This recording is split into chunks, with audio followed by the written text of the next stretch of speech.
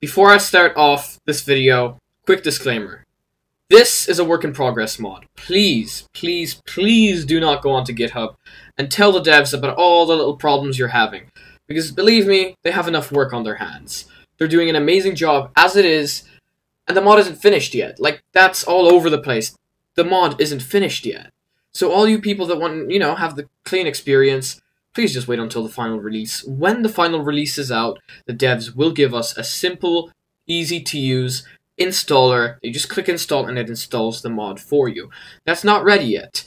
For all you people that, you know, don't care about that stuff, want to see the bugs, want to see the little characters doing their 360s and teleporting all around the place, like me, want to have some of that, you know, laugh about it and just want to see how the mod's doing over its courses, install it. But be wary of all the bugs that are there and just don't complain please do not harass the devs, okay?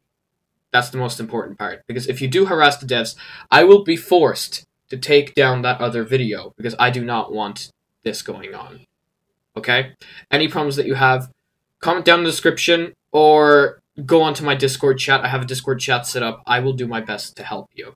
A lot of people were telling me that they had problems installing the server, or running the server actually.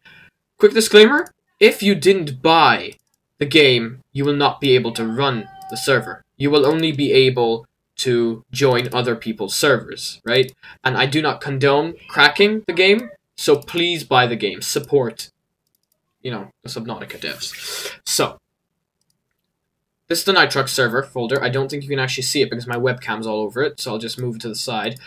So you want to go into Nitrox, Nitrox server, bin, debug. If this folder isn't here, you did something uh, wrong in the last few steps. So just go back and, you know, redo all the steps and this folder should be created. Right click on Nitrox server and run it as admin. Once you run that as admin, this should show up. Okay, so I can't actually record that because the second I start the server, my CPU goes all the way up and the entire video starts lagging. So yeah, you turn that on, it says loading batch data, that'll take a while. Now here's the part that people get stuck on.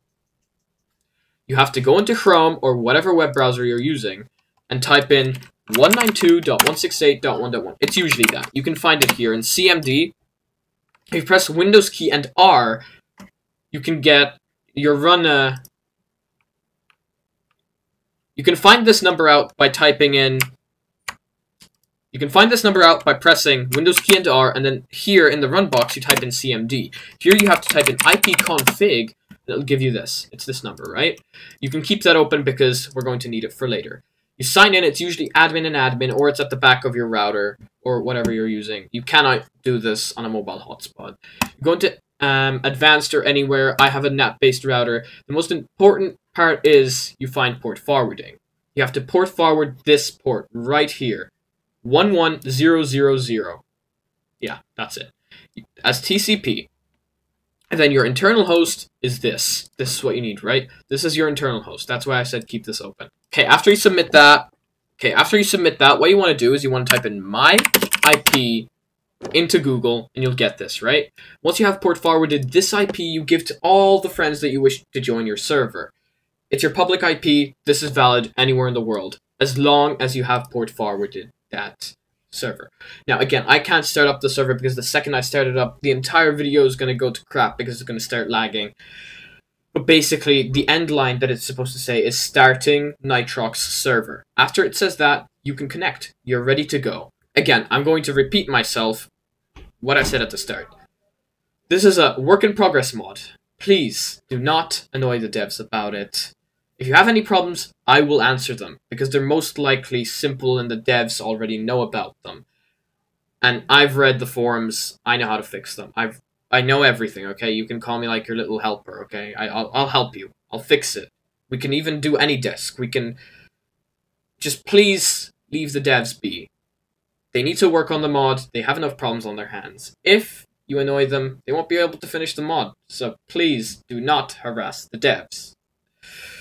With that said, if this video helped you, make sure to leave a like. If you have any problems, comment down in the comments below, and I will make sure to help you. If you have any more problems, go onto my Discord chat, so over there you can ask, and I will do my best to help you.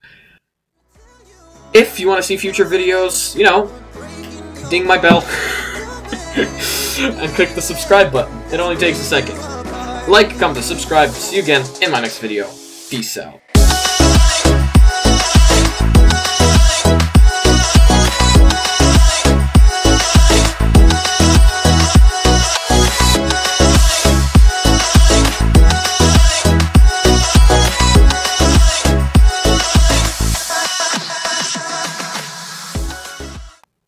What's up? I have more editing now because of